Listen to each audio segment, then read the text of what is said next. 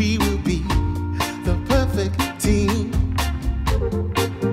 Like the hand in a glove, like cherry pie and